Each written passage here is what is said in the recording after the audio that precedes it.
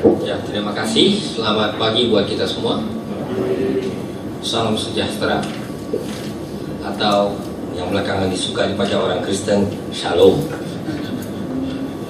Baiklah, saya pikir ini satu kesempatan yang menarik bagi kita. Dan rupanya yang hadir pada pagi hari ini bukan hanya anggota Ikatan Sarjana Biblika Indonesia, tapi juga para peminat di antara warga gereja.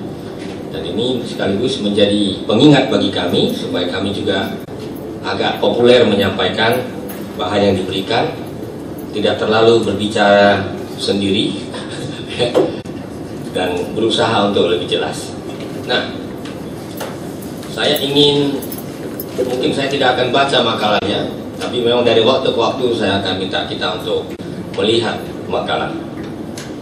Makalah saya terdapat di bagian belakang, rupanya dalam penjilitan salah, rupanya dikira ini Alkitab Ibrani, jadi belakang dulu baru depan. Baiklah. Nah, revisi Alkitab terjemahan baru, dan saya akan coba liput duanya, yaitu Perjanjian Lama dan Deuterokanonika. Karena memang ada hal-hal yang sama, walaupun tentunya arahnya berbeda, bahannya sedikit berbeda. Nah, saya mulai dengan sebuah catatan dalam satu buku pegangan yang diterbitkan bagi penerjemah dan perevisi Alkitab itu dikerjakan oleh Lembaga Alkitab Amerika 1961 dia katakan no translation of scriptures should be ever regarded as final for the Bible must speak to every succeeding generation with undiminished clarity.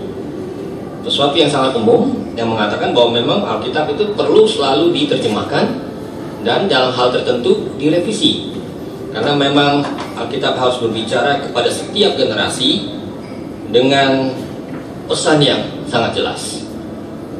Nah, kita ingin meninjau sedikit tentang sejarah Alkitab kita. Alkitab yang digunakan baik di kalangan Protestan maupun di kalangan Katolik. Ya. Alkitab terjemahan baru itu itu terbit tahun 1974. Dan memang hampir setengah abad ya. 10 tahun lagi dia kira-kira setengah abad. Tetapi kalau kita lihat lebih ke belakang lagi, proyek ini dimulai kira-kira awal tahun 1950-an pada waktu itu masih di bawah pengawasan lembaga Alkitab Belanda karena lembaga Alkitab belum ada ketika itu lalu ketika lembaga Alkitab kemudian didirikan tahun 1954 dua tahun kemudian kira-kira barulah secara bertahap proyek perevisian itu dialihkan kepada putra-putra Indonesia saya kira itu sesuatu yang sehat ya nah awalnya kalau menurut instruksi dari negeri Belanda, memang ada catatan di sebuah buku tinjauan sejarah mengenai hal ini. Dulu semuanya dikendalikan dari jarak kira-kira 14.000 km. Iya betul, rupanya dihitung ya, kira-kira 14.000 km yaitu dari Amsterdam. Ya, apa yang harus dilakukan di Indonesia dikendalikan dari jauh sana. Dan awalnya instruksi kepada penerjemah ataupun perevisi yaitu Dr. Swelling Grebel namanya revisilah Alkitab itu menurut terjemahan pendeta Bode karena memang waktu itu sudah ada seluruh perjanjian baru lengkap dan perjanjian lama sebagian sudah ada. Sebagian lagi memang ikut tenggelam dengan kap, apa karamnya kapal Bode itu ketika dia akan kembali ke Belanda. Nah lalu ya tenaga ini mulai mengerjakan, melihat kembali dan pada waktu itu barusan terbit satu Alkitab terjemahan baru dalam bahasa Belanda tahun 1951 lalu dia coba bandingkan lalu segeralah timbul persoalan karena kalau kita mau memeriksa konsistensi kita nggak bisa mendasarkannya kepada sebuah terjemahan karena tidak ada satu pun terjemahan yang mampu secara konsisten 100% mempertahankan bentuk dalam bahasa Ibrani atau Yunani. Tidak akan mungkin. Karena dia menyadari itu dia akhirnya terpaksa apa ya, menafsirkan ulang instruksi dari Belanda. Dia mulai bekerja dengan teks-teks Ibrani. Makin lama makin jelas, rupanya nggak bisa kita menerjemahkan dari sebuah terjemahan. Kayak gitu kan? dan pelan-pelan dengan sangat singkat saya mau katakan perlahan-lahan ini akhirnya menjadi terjemahan baru cita-cita ingin merevisi akhirnya jadilah terjemahan baru karena memang itu berdasarkan persoalan yang ditemukan di lapangan nah sementara itu karena kita memang belum ada Alkitab terjemahan baru lalu diterbitkanlah edisi sementara atau istilahnya makanya saya istilahkan SIK artinya tertulis apa adanya darurat. Dan itu diambil perjanjian lamanya dari terjemahan Dr. Blinken, perjanjian barunya dari terjemahan Pendeta Bode. Ya, itulah yang menjadi terjemahan lama yang rupanya masih juga dicintai sampai sekarang. Ya, gitu ya. Orang nggak tahu itu terjemahan darurat. Mereka sangat sayang kepada Alkitab ini, Padahal lembaga Alkitab dengan terang di kata pengantar saya baca di dalam edisi pertamanya ini terjemahan darurat karena belum ada terjemahan yang baru. Nah, lalu singkat cerita dengan berbagai pergumulannya pergantian personel dan semakin lama semakin banyak putra-putra Indonesia mengambil alih kepemimpinan dari pendahulu mereka dari Belanda.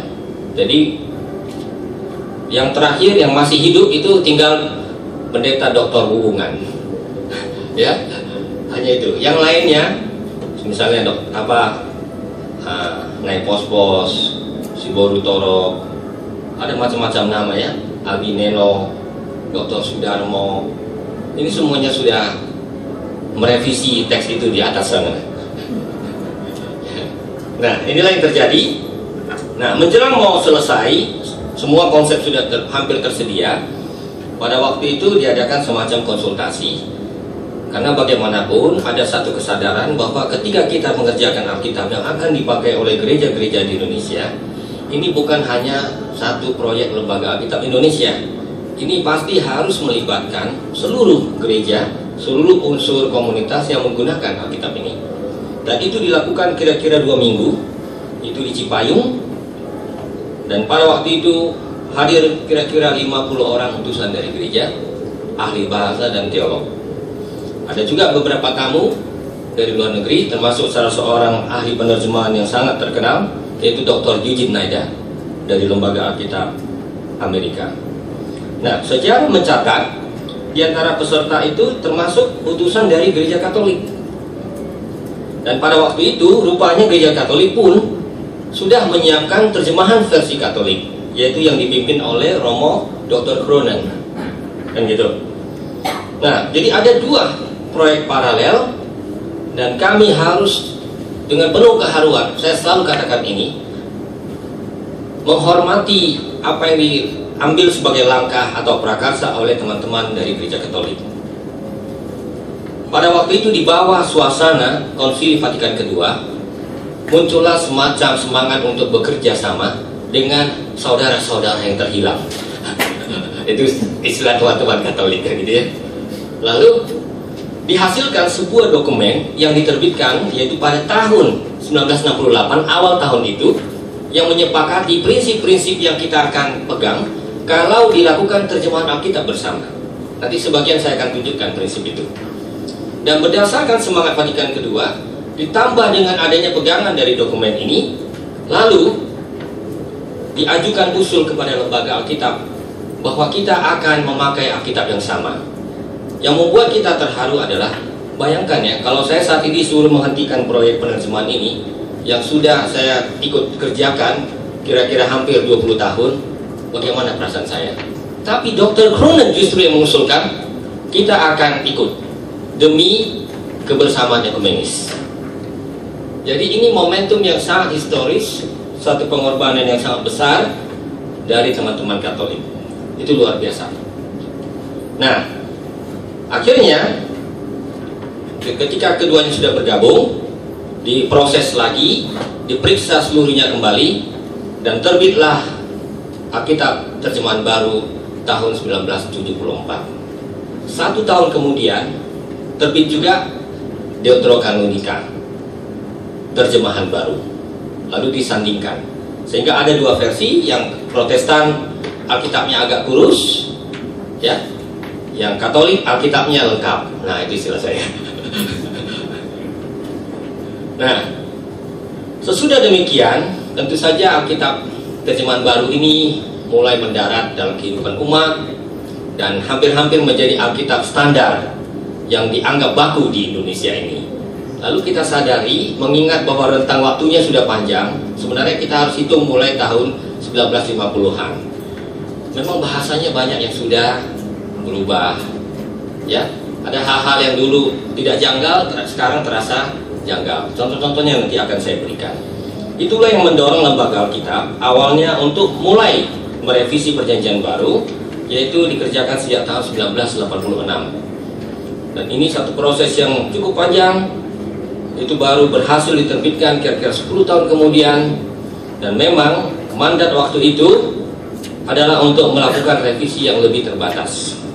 Ya, sesudah kami mengerjakan perjanjian lama, nampaknya semakin jelas kelihatannya yang revisi dari perjanjian baru pun nampaknya perlu sekali lagi direvisi untuk lebih menyelaraskan bahasa dan juga tafsirannya. Nah, perjanjian lama kemudian direvisi sesudah perjanjian baru terbit tahun 1997 dan untuk itu diadakan semacam sebelum perjanjian baru terbit ini catatan saja uh, dilakukan juga konsultasi lokakarya yang serupa lagi-lagi di Cipayung.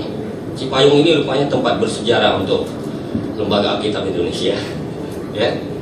Dan akhirnya sejak tahun 2002 diadakan inisiatif juga untuk merevisi Deuterokanonika kira-kira demikian sejarah singkat kenapa ada bertahap-tahap dilakukan revisi. Nah, pertanyaan berikut adalah mengapa kita merevisi dan tidak membuat terjemahan baru? Ini pertanyaan yang kelihatan sederhana, tetapi banyak juga diperdebatkan di kalangan lembaga-lembaga Alkitab sedunia. Nah, pertama-tama kita harus sadari tentunya tadi saya sebut usia dari terjemahan baru, yang pasti tidak lagi baru sekarang. Ya. Mengerjakan suatu revisi sebenarnya kita harus akui lebih sulit daripada membuat terjemahan baru kelihatannya lebih sederhana karena sudah ada terjemahan yang tersedia. Tapi pekerjaan ini sebenarnya lebih kompleks. Karena selalu ada perasaan anggur lama itu lebih nikmat daripada anggur baru. Setuju? ya yang nggak pernah mencicipi anggur tidak tahu. Ya. Nah, Eugene Naida dengan Tabor, dua orang ahli penerjemahan di lembaga-lembaga Alkitab sedunia, itu mengatakan begini. Ya, saya tidak akan baca dalam bahasa Inggris karena kita umumnya berbahasa Indonesia, tapi saya rangkum saja. Menurut dia, mendengar kata revisi aja sebenarnya banyak orang sudah merasa tidak cocok. Firman Tuhan kok direvisi-revisi kan gitu. Ada perasaan seperti itu. Ya, seakan-akan inspirasi dan wibawanya itu digugat. Ada sesuatu yang berubah. Karena memang revisi berarti kita harus mengubah berbagai rincian dan lebih mudah melihatnya kalau mempunyai terjemahan yang ada sebelumnya. Kalau terjemahan baru orang agak sulit membandingkannya. Tapi kalau revisi orang langsung bisa lihat dalam kolom yang bersandingan, gitu ya mana yang sudah diubah dan kadang-kadang orang bisa saja mengomentari yang lama masih lebih baik kan gitu ini dia dilema yang dihadapi dan selain itu juga memang harus diakui ada juga persoalan teknis ya. Banyak sekali waktu dihabiskan untuk diskusi biasanya. Dan ini sungguh benar dalam tim pun kelihatan itu ya. Ada tarik menarik diskusi apakah ini harus direvisi atau ini kita pertahankan. Dan tidak selalu mudah untuk menarik satu batas yang tegas di dalam mengambil keputusan meskipun kita tentunya mempunyai semacam pedoman. Nah tapi kalau kita sadari bahwa memang ada terjemahan-terjemahan tertentu yang memang mempunyai kedudukan yang sudah demikian kokoh dan membudaya memang revisi juga terasa masuk akal di dunia berbahasa Inggris misalnya ya kita tahu King James begitu dicintai, lalu ada orang kemudian mulai merevisinya. Sebenarnya awalnya bukan New King James namanya, awalnya malah Revised Version. Terjemahan yang direvisi. Lalu beran kalau setiap kali revisi kan harus ganti nama. Sudah itu ganti nama ini apa revised standard version. Sudah itu direvisi lagi disebut lagi new revised standard version. Saya duga mungkin berikutnya adalah new revised standard version. Begitulah. Nah, tapi kita tidak usah terlalu jauh ke dunia Inggris atau Jerman atau tempat lain. Sebenarnya di Asia Pasifik sendiri baru-baru ini terbit itu tahun lalu ya itu. Oh, bukan tahun lalu ya. Tahun 2000 tahun ini berarti ya. 2013 ya, tahun lalu, tahun lalu bukan tahun ini. Ada sebuah terjemahan dalam bahasa Mandarin yang disebut dengan Chinese Union Version. Itu dikerjakan di awal abad 20. Lalu sesudah dikerjakan sejak tahun 1980-an, baru-baru ini diluncurkan di Hong Kong. Itu satu contoh. Dan memang terbukti ada pro kontra. Selalu ada yang merasa yang lama lebih manis, tetapi semakin banyak orang meyakini sekarang yang baru itu memang sungguh-sungguh perlu. Kan gitu. Sampai-sampai menurut laporan yang saya dengar dari Sekretaris Umum Lembaga Alkitab Hong Kong itu dalam waktu singkat mereka harus lakukan reprint sampai 10 kali. Karena memang jumlah penutur bahasa Mandarin itu mencapai sekitar 70 juta. Ya. Jadi besar sekali kebutuhan itu. Tapi itulah contoh bahwa ada hasil yang ketekun dan hasil itu sungguh menggembirakan di Indonesia sendiri bukan hanya bahasa Indonesia ada juga berbagai upaya untuk meremajakan Alkitab-Alkitab yang ada dan biasanya yang sudah mentradisi atau kuat. Misalnya Bibel Bahasa Batak Toba. Ini memang saya juga adalah konsultannya yaitu juga Alkitab dalam bahasa Jawa. Ini juga sedang direvisi mudah-mudahan 3-4 tahun lagi akan selesai. Dan baru dimulai Alkitab dalam bahasa Nias. Dan konsultannya ada teman saya di sana orangnya sangat ganteng Bapak Riko. Gitu ya tapi tidak available lagi. Apa boleh buat? Kemudian Alkitab ke dalam bahasa Simalungun Bibel dalam bahasa Simalungun. Ya inilah yang sedang dikerjakan. Karena memang Alkitab-Alkitab ini umumnya dikerjakan oleh para misionaris. Ya pengecualiannya adalah Alkitab dalam bahasa Simalungun. Memang luar biasa. Sejarah mencatat inilah Alkitab pertama yang dikerjakan oleh putra Indonesia. Yang lainnya sebenarnya adalah warisan dari misionaris baik Belanda ataupun Jerman. Nah, dan kita harus akui ketika orang merevisi, kadang-kadang memang batasnya nggak gitu jelas. Ini masih revisi atau ini sudah mulai terjemahan baru. Ini diakui dalam satu dokumen yang memang mengkhususkan diri untuk melihat persoalan-persoalan di balik perevisian. Ya, seperti yang kita lihat tadi, terjemahan baru itu awalnya adalah revisi. Tapi dalam perjalanan waktu, sesudah melihat persoalan-persoalan yang begitu substansial, itu tiba-tiba di tengah jalan berubah karakternya menjadi terjemahan baru. Memang untuk perjanjian lama, saya tidak ada dapat kesan itu. Yang kami lakukan sekarang ini memang sedikit agak di tengah-tengah, konservatif lah. Ya, apa yang masih bisa dipelihara, peliharalah. Apa yang perlu diremajakan, remajakan. Kan gitu istilahnya. Tapi untuk Deuterokanonika, saya harus akui karena memang gaya bahasa yang digunakan pada waktu itu memang dipilih dari kaum terdidik dan diusahakan seharfiah mungkin. Nanti contoh-contohnya akan lebih banyak diberikan oleh Romo Indra.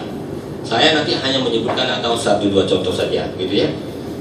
Sehingga lama kelamaan memang revisi Deuterokanonika itu terkesan mirip terjemahan baru. Itu satu fakta yang memang tidak dapat dipungkiri. Ya, lebih ke arah terjemahan baru.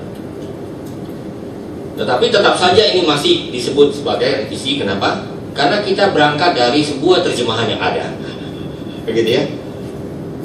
Dan kita memang dari waktu ke waktu selalu melihat kembali kepada terjemahan lama. Jadi masih ada semacam kontinuitas yang dijaga antara terjemahan lama dengan terjemahan baru. Nah itu dia sekilas tentang apa bedanya revisi dengan terjemahan baru. Lalu apa saja yang dicakup atau aspek-aspek yang diperhatikan dalam revisi? Ini adalah pertanyaan klasik. Dan saya tidak memerlukan satu dokumen yang baru. Saya lihat saja satu dokumen lama yang rupanya sudah diterbitkan oleh Lembaga Alkitab Indonesia yaitu pada tahun 1967. Pada waktu itu sebagai bagian dari sosialisasi mereka sudah sebutkan biasanya sebuah terjemahan baru di dilakukan karena satu ada perkembangan dalam bahasa penerima. Kedua perkembangan penelitian teks sumber yaitu Ibrani, Yunani, dan bahasa Arab. Ketiga perkembangan dalam ilmu tafsir eksegese keempat perkembangan dalam ilmu penerjemahan science of translating ini klasik. Artinya ini tetap akan relevan juga untuk pekerjaan menerjemahkan dan merevisi Alkitab kapan pun dilakukan. Nah, tetapi ada juga satu hal yang selaras dengan keempat prinsip tadi. Dalam kemitraan dengan berbagai gereja dan komunitas pengguna Alkitab di kalangan lembaga Alkitab sedunia sekarang direkomendasikan agar kepelbagaian tradisi gerejawi dan sasaran yang ditentukan untuk suatu terjemahan sungguh-sungguh diperhitungkan. Kebijakan dan prinsip-prinsip yang dipedomani dalam penerjemahan atau revisi terjemahan merupakan pilihan dan keputusan bersama dalam semangat kemitraan. Ini sebenarnya perkembangan yang terakhir. Ya, katakanlah satu komunitas ingin menerjemahkan Alkitabnya dari Textus Receptus. Itu satu teks tradisional untuk perjanjian baru. Sekarang ini, ini sudah sah dilakukan. Dulu sama sekali tidak mau lembaga Alkitab Indonesia. Karena ada kesadaran sekarang, loh, masa kita yang menentukan apa yang harus menjadi tradisi yang diimani oleh satu komunitas beriman. Jadi ada semacam kesadaran untuk lebih menghargai kepelbagaian tadi. Misalnya di kalangan gereja ortodoks, nggak mungkin mereka mau terjemahkan perjanjian lama dari teks Masoret, tidak mungkin. Mereka akan terjemahkan dari Septuaginta. Kalau dulu ini tidak akan dilakukan. Sekarang ini malah tidak apa-apa, sangat baik. Karena memang itulah teks gerejawi yang mereka pakai. Karena Alkitab ini bukan satu dokumen ilmiah, tetapi adalah dokumen teologis sebenarnya. Sesuatu yang memang dibaca untuk umat. Lain hal kalau memang ada satu edisi ilmiah, ya silakan. Nah, bagaimana dengan karakter dari revisi yang dilakukan? Kalau kita lihat mandat di dalam tata kerja revisi perjanjian lama, misalnya, di situ disebut terjemahannya tetap adalah terjemahan formal yang dalam bahasa Inggris disebut dengan formal correspondence. Artinya, terjemahan ini tetap berusaha mencerminkan struktur atau bentuk dari teks sumber. Dan itu paling terasa kalau kita lihat di dalam konsistensi kata atau konsistensi istilah. Ciri kesepadanan ini, oh maaf, itu halaman 4 ya. Oh, saya salah ini, harusnya tidaknya dibuang. Ciri kesepadanan formal ini dapat dibandingkan, bukan tidak dapat. Memang satu kata aja berbahaya. ya, maaf. Dapat dibandingkan dengan prinsip yang diikuti dalam New Revised Standard Version. As literal as possible, as free as necessary.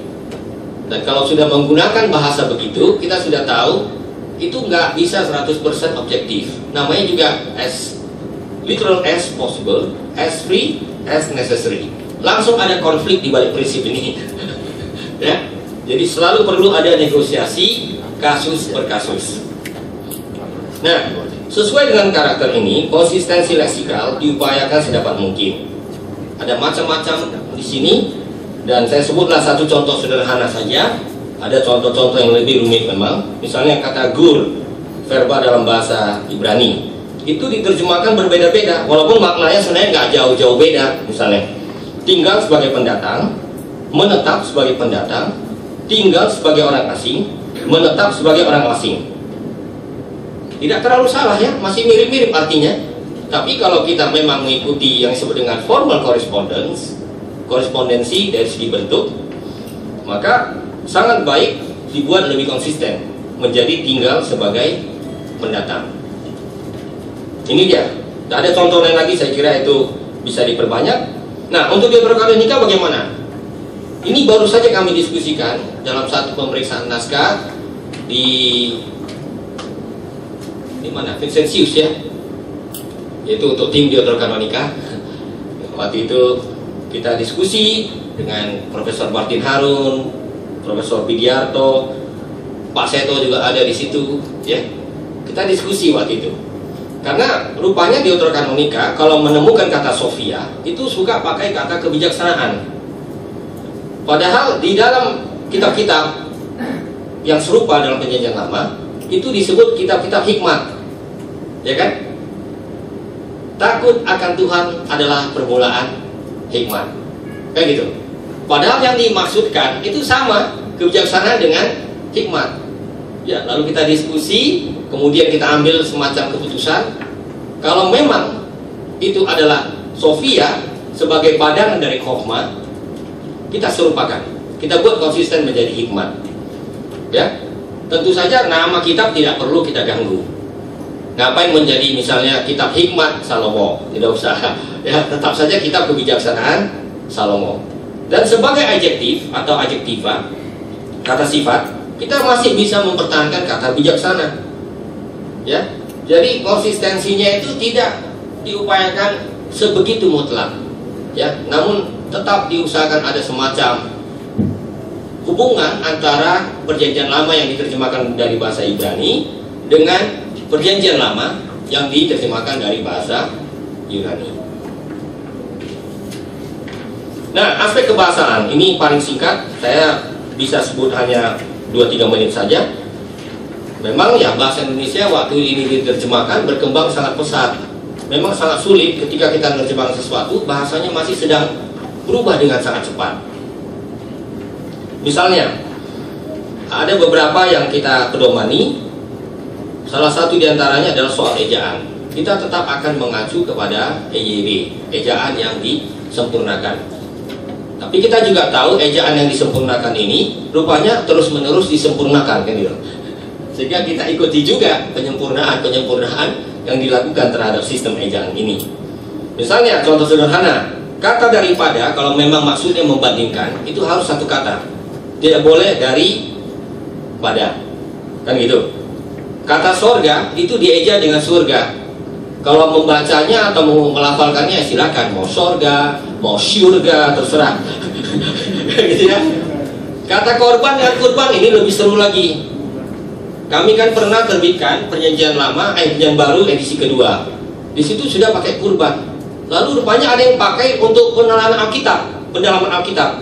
Mereka diskusi katanya kira-kira setengah jam dengan nada tinggi Enggak, yang benar korban. Yang satu lagi bilang korban. Waktu itu saya datang ke kantor perwakilan kami di Medan. Nah, kepala perwakilan bilang, ini udah datang ini orangnya, sini. Mereka kira saya akan ngomong hebat sekali, buka Ibrani Yunani. Saya hanya ajukan pertanyaan singkat. Nah, kalau ada kambing ditabrak, apa namanya? Korban, bagus. Kalau kambing dipotong pada waktu hari raya haji, apa namanya? Kurban. Ya, selesai sudah persoalan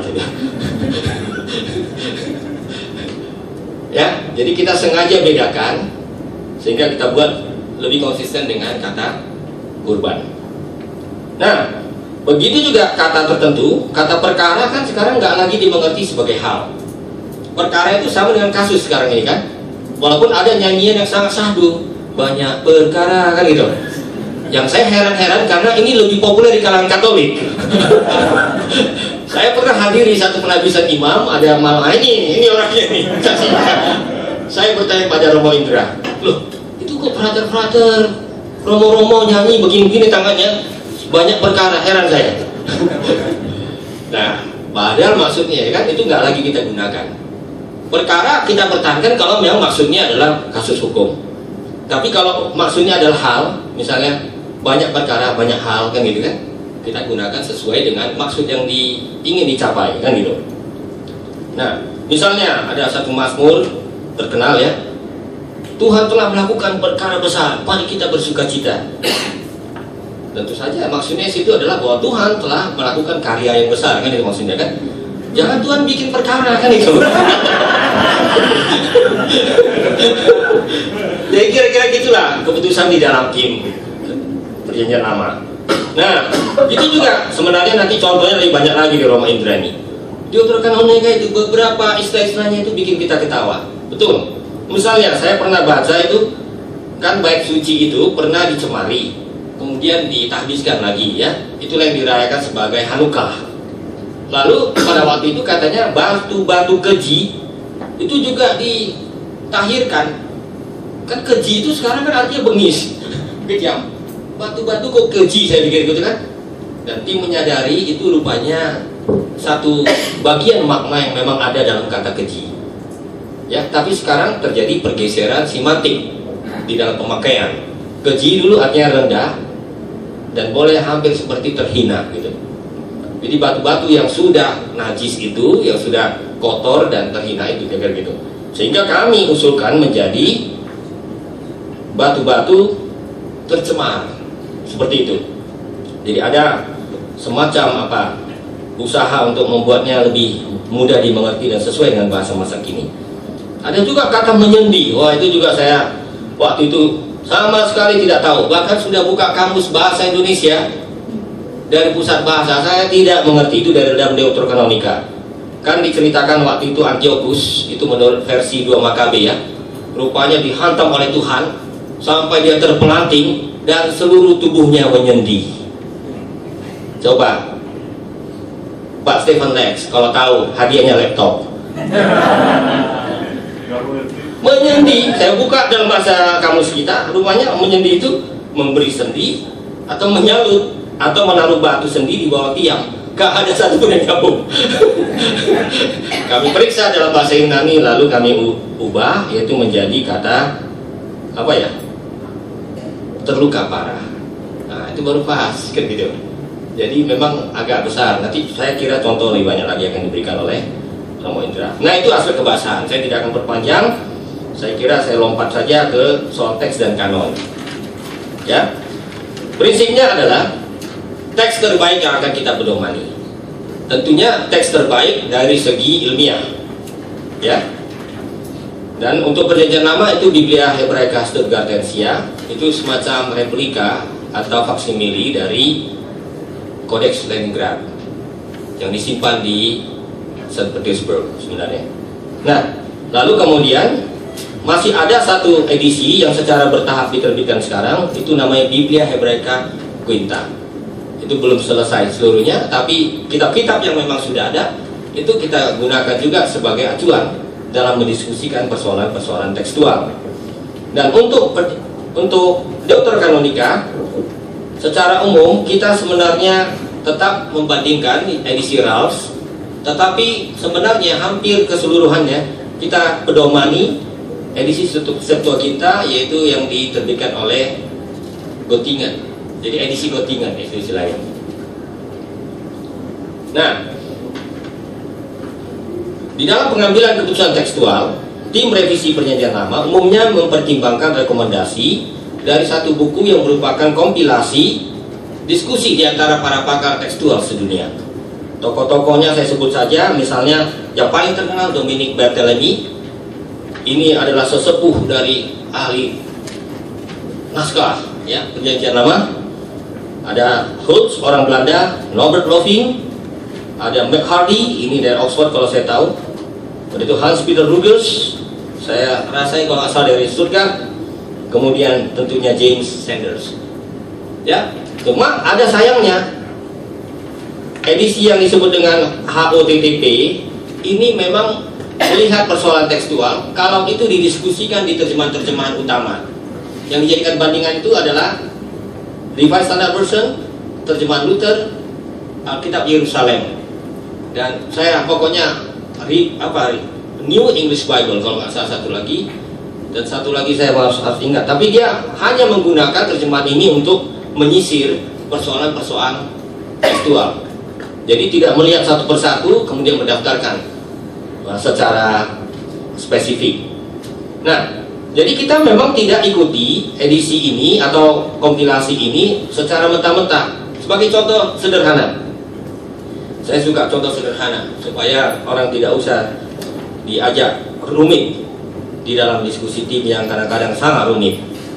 Nah, kejadian 4 ayat 8 kan dikatakan di situ, kata Kain kepada Habel, mari kita pergi kepada Dan ketika mereka ada di padang, Kain membunuh adiknya Habel. Kan itu ya? Nah, kalau kita mengikuti teks Masoret, itu nggak ada tambahan, mari kita ke padang. Di situ hanya dikatakan, ya kan? Wa yomil kain el Habel, ya kan? Akif, titik, wa yahi. Lalu ketika di padang. Jadi ada betul-betul semacam laguna, lubang di situ. Cuma kita lihat Septuaginta mencantumkan itu. Geltomen estopedion. Mari kita pergi ke Padang. Lalu Taurat Samaria yang merupakan saingan dari teks Masoret, itu, itu juga punya, gitu. Nekla Hasade. Berarti ada semacam saksi yang cukup berbobot yang mendukung pilihan yang ada di dalam teks TB1. Karena itu kita pertahankan dalam kasus seperti ini. Tapi dalam kasus-kasus lain, betul, kita lebih ke arah rekomendasi yang diberikan oleh uh, kompilasi keputusan tekstual ini. Nah, lalu terkait dengan revisi Deuterokanonika, ada dokumen kesepakatan antara UBS dengan Vatikan, itu namanya Guidelines for Interconfessional Cooperation in Translating the Bible. Awalnya itu disepakati tahun 1968, diterbitkan, lalu baru-baru ini, baru dalam arti kira-kira 20 tahun yang lalu, tahun 1987 itu diperbaharui lagi dan persoalan kanon mendapat perhatian. Pertama dia katakan begini, edisi Alkitab yang lengkap yang mempunyai imprimatur dari gereja Katolik itu harus mencantumkan teks Deuterokanonika. Dan gitu. Tapi juga disadari yang memakai Deuterokanonika ini ada juga tradisi lain yang saya sebut sajalah secara nyata. Misalnya gereja Anglikan sampai detik ini kalau menerbitkan Alkitab itu tetap memasukkan Deuterokanonika. Ya, gereja episkopal juga sama. Leksionarinya yaitu daftar bacaan tiap minggu itu tetap mencantumkan Deuterokanonika. Padahal itu bukan Katolik. Lalu kalau mau terbit satu edisi ekumenis yang bisa dipakai Katolik maupun tradisi lain, berarti ada semacam kesepakatan. Nah, caranya adalah begini. Dia katakan Deuterokanonika bisa diterbitkan untuk edisi ekumenis ya, yaitu sebelum perjanjian baru, ditempatkan semuanya sebelum perjanjian baru menjadi satu bagian. Seperti yang kita juga miliki di Indonesia. Ya. Tetapi kalau misalnya ini betul-betul edisi Katolik, pilihannya boleh seperti terjemahan Katolik lainnya, misalnya New American Bible, itu kan jelas terjemahan Katolik.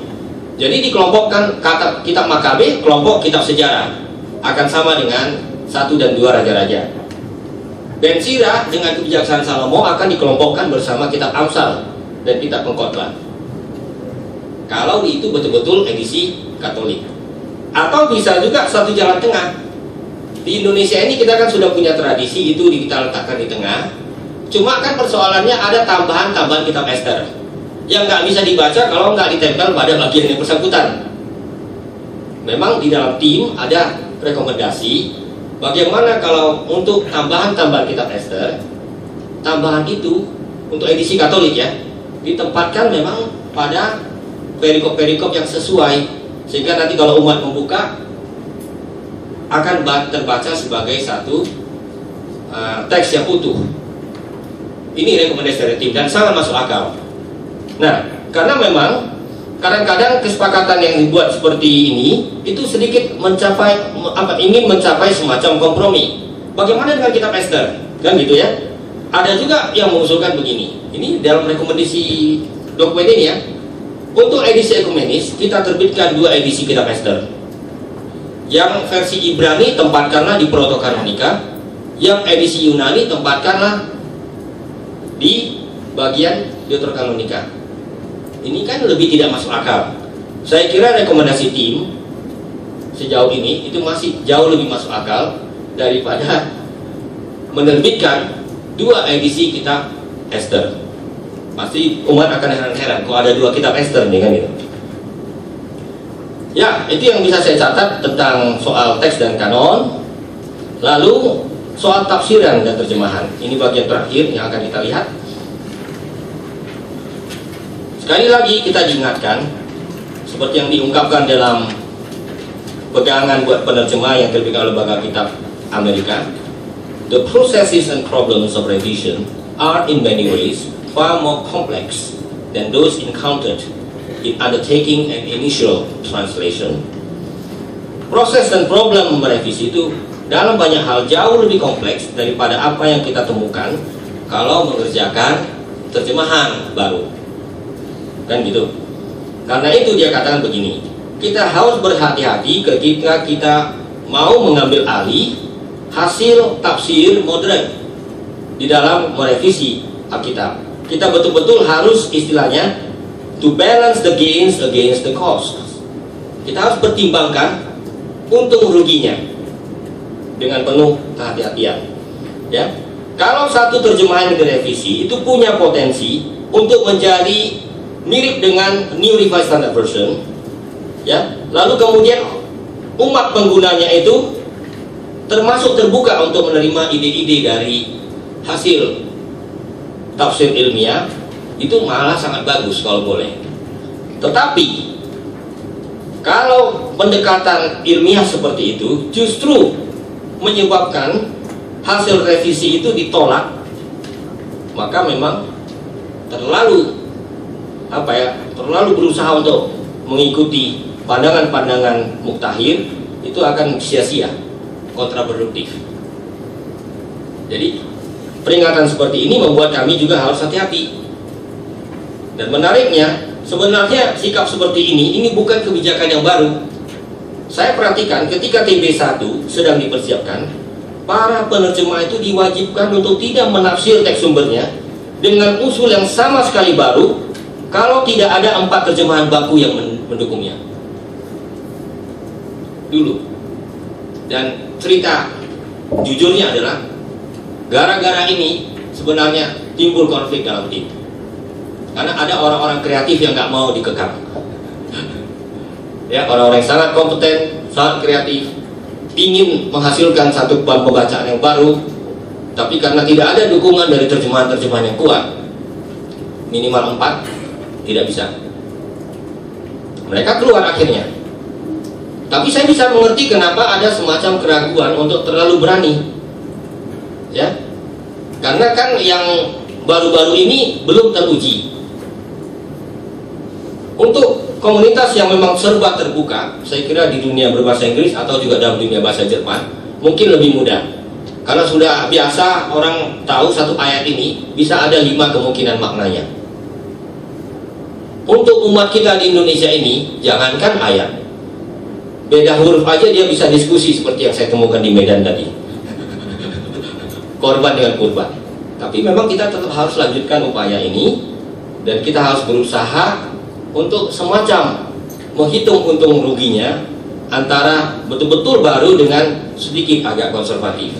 Dan itu betul-betul terefleksi dalam tim revisi perjanjian lama maupun dalam tim deuterokanonika selalu ada tarik menarik saya termasuk kubu konservatif dalam hal ini itu karena ada pesan dari para arwah jangan biarkan mereka suka-sukanya mengubah kan ya. Jadi dalam perubahan tafsir umumnya kita mencoba untuk lebih mempertajam terjemahannya. Misalnya the home, ini persoalan berat ini. Kelihatan mudah tapi berat. Kalau kita baca dalam kejadian pasal 1 ya, berubah berubah Elohim mereka al home hamayi ya. Kan gitu kan? Wadwa Erohim Merhefet Al-Tahom Hamayim Nah, Tahom di situ sering terjemahkan roh Allah melayang-layang di atas permukaan air kan gitu ya. Lalu Tahom di samudra, samudra maaf, Tahom ini dalam arti samudra, permukaan samudra raya. Persoalannya adalah kebanyakan pener, apa pembaca sekarang kalau dengar samudra raya yang dia ingat itu samudra Pasifik, laut teduh, lautan teduh, itu tidak menggambarkan samudra dalam kata tahom sesuai dengan kosmologi Ibrani kuno bahwa yang disebut samudra itu ada merupakan suatu masa air yang ada di mana-mana di bawah tanah sana sampai di lingkungan langit di atas. Ini persoalannya. Bagaimana kami menyiasati? Sesudah negosiasi begitu lama ada satu usul mengatakan samudra purba wah ini juga menimbulkan pertanyaan samudra purba apa itu? Ya kan? Padahal maksudnya adalah samudra yang tidak sama dengan samudra sekarang kan gitu ya. Samudra yang dulu itu itu terlalu juga sulit. Akhirnya kita ambil semacam kesepakatan. Jadi kita sebutlah di kedalaman apa ya air. Nah, nanti saya bisa tunjukkan teks yang lebih persis. Tapi itulah satu contoh negosiasi bahwa kadang-kadang kita tahu apa yang dimaksudkan, tapi untuk sampai kepada ekspresinya kita kesulitan. Begitu juga kata rakiah yang diterjemahkan sebagai cakrawala, ini lebih tepat diterjemahkan sebagai kubah. Karena cakrawala itu kan horizon, garis lengkung langit ya. Padahal ku, kalau dalam kosmologi Ibrani kuno ya memang langit itu keras, melengkung seperti cakrawala tapi memang keras. Sehingga kalau mau hujan bocor dulu jendela-jendelanya. Jadi memang kubah lebih tepat. Jadi sejauh ini negosiasi kita adalah menganjurkan penggunaan kata kubah. Ya tapi ini kan tetap masih harus diuji. Nah soal lain yang kami harus catat mungkin contoh lain saya sudah usah lagi baca adalah soal ruah Elohim Kadang-kadang kami harus akui untuk hal-hal yang sifatnya sensitif sudah begitu mentradisi, ada hubungannya dengan perasaan umat, kami akhirnya harus berkompromi, mengalah. Misalnya ruah Elohim di Genesis atau Kejadian pasal 1 itu hampir pasti tidak menunjuk kepada roh Allah dalam arti roh kudus. Ya, mayoritas anggota tim setuju tidak ada hubungannya dengan roh kudus. Tapi ya di teks kita itu tercetak sebagai roh Allah. Makanya banyak teori dan saya pernah dengar dari khotbah-khotbah pendeta Indonesia. Kalau Romo saya belum pernah dengar. Itu bukti bahwa Trinitas berkarya dalam saya kira itu nggak ada hubungannya. Lalu bagaimana? Kalau kita bikin rohnya kecil, nanti orang pikir roh apa lagi kan itu. Kalau kita terjemahkan seperti Alkitab bahasa sehari-hari yang sekarang dikenal sebagai bahasa masa kini itu jadinya kuasa dari Allah. Ada juga lagi opsi tafsir yang lain, itu bisa juga artinya angin yang dahsyat. Karena Elohim itu bisa juga bermakna superlatif. Mana? Atau angin dari Tuhan atau dari Allah. Akhirnya kita sepakati, oke okay, kita pertahankan terjemahan tradisional, tetapi kita beri catatan kaki. Pilihan-pilihan artinya. Ini bisa artinya A, B, C, D. Masih bagus kalau tiga. Sebenarnya dalam bermacam-macam nats, kadang-kadang pilihannya sampai 12. Begitulah persoalan yang kita hadapi kadang-kadang ketika tidak ada kepastian. Tapi kalau ada persoalan seperti tadi. Nah, terakhir kita mengakui bahwa revisi ini tetap adalah sebuah proses pergumulan yang terus masih bergulir. Tidak semua masalah sudah kami pecahkan. Sebagai contoh sederhana, kata haram atau herem bentuk nominanya itu sangat sulit kami temukan padanan yang pas. Itu kata ini digunakan dalam konteks perang suci. Kalau sesuatu disebut sebagai herem, artinya ini sudah diserahkan kepada Tuhan secara eksklusif, tidak boleh lagi sama sekali dimiliki oleh manusia. Dan konsekuensinya yang paling masuk akal adalah ini dibinasakan. Lalu bagaimana terjemahannya? Di dalam TB1 terjemahannya sering dikhususkan untuk dimusnahkan.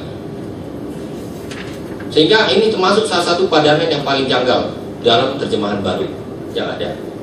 Kami diskusi bolak-balik, lalu akhirnya ditemukan semacam usul, ini belum final. Ada yang mengusulkan dimusnahkan demi Tuhan. Ada yang mengusulkan dimusnahkan untuk Tuhan. Demi dengan untuk kalau dalam tim itu bisa sampai 5 menit diskusi lebih. Ada juga yang mengusulkan khusus dimusnahkan untuk Tuhan. Nah ini, memang ini belum mencapai semacam kata final. Ya, ada beberapa yang seperti itu yang masih harus dikonsultasikan. Saya menyebut satu contoh yang sederhana. Ada juga misalnya persoalan tentang roh Elia yang hingga pada Elisa. Ini kalau di dalam beberapa suku tradisional, wah hebat sekali nih. Rupanya dulu ada ilmu pindah roh kan gitu. Roh Elia boleh dibagi bisa pindah tempat dan kami ingin mengurangi potensi salah mengerti seperti ini. Lalu ruah di situ dalam arti apa? Lalu ada usul sementara kuasa Elia pindah pada Elisa. Dan ini mungkin belum begitu jelas. Ada lagi yang sedikit mengusulkan mungkin kuasa kenabian. Sehingga itu seperti perpindahan otoritas kenabian dari Elisa, Elia kepada Elisa. Jadi kita nggak mau terlalu menimbulkan konotasi yang tadi itu bagaimana roh Elia bisa pindah ke sana kan gitu. Padahal orang Indonesia paling mudah ngerti itu. Nah, dalam merevisi Deuterokanonika, persoalan yang mirip juga kita hadapi. Misalnya, kalau dalam teks seperti dalam Sirah 34 ayat 13, roh orang yang takut akan Tuhan akan hidup. Kami sudah cek, ya, termasuk di dalam tim waktu itu diskusi, ini bisa menimbulkan kesan tentang kekekalan jiwa atau roh. Roh orang yang takut akan Tuhan akan hidup. Kan gitu ya? Apakah yang biasanya gitu ya konotasinya kan? Padahal kalau kita baca kitab Ben Sira, Ben Sira ini tidak berbicara tentang hidup sesudah mati. Seperti pandangan Ibrani kuno, Ben Sira masih begitu. Ya kalau ada hidup ya hidup di dunia ini, kan gitu ya. Jadi tidak usah roh jiwanya hidup kekal. Itu nanti dalam kitab kebijaksanaan Salomo baru muncul. Kalau Ben Sira belum muncul. Lalu akhirnya kami diskusi dan cukup alot waktu itu kami capai semacam kesepakatan lalu diusulkan begini. Itu kita terjemahkan sebagai roh atau bukan orang yang batinnya takut akan Tuhan akan hidup. Ya. Ini masih kurang radikal. Sebenarnya kalau dalam buku pegangan para penerjemah yang diusulkan oleh United Bible Societies yaitu lembaga-lembaga agama sedunia ini nggak perlu pakai roh atau batin, cukup aja orang yang takut akan Tuhan akan hidup. Tapi kita sedikit ya negosiasi mengambil jalan tengah. Nah, akhirnya, tapi juga nggak nggak kalah sulitnya. Kadang-kadang kami menemukan ada semacam leksim atau istilah yang sebenarnya merupakan padanan dari teks Ibrani. Misalnya kata Elios.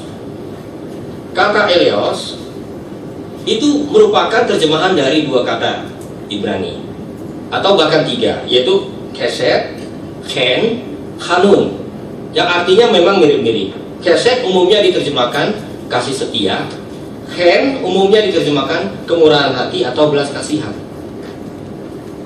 jadi ketika kami menemukan katakanlah kata Eleos apalagi dalam kitab yang jelas-jelas diterjemahkan dari bahasa Ibrani yaitu Betsirah makna mana yang mau kami terjemahkan? Ini diskusi yang sangat seru bahkan di antara ahli-ahli Septuaginta. Kalau membuat satu leksikon yang didaftarkan itu makna Yunani betul-betul atau juga memperhitungkan makna Ibrani yang merupakan cerminan dari istilah Yunani. Di situ tidak gampang negosiasinya karena beda pendapat besar sekali. Misalnya leksikon yang dikerjakan oleh Johan Luz dan teman-teman itu mengasumsikan memang perlu diberikan makna Yunaninya, tapi dari waktu ke waktu harus diberikan juga bahwa ini merupakan refleks atau cerminan dari istilah Ibrani ini. Nah, karena kami tahu ada ketidakpastian dalam soal ini, kelihatannya yang paling bisa dipertanggungjawabkan adalah menerjemahkan teks Yunani apa adanya. Elios paling banyak itu berarti belas kasih. Ini yang diambil semacam keputusan dalam tim. Ya, kira-kira itu yang bisa saya bagi.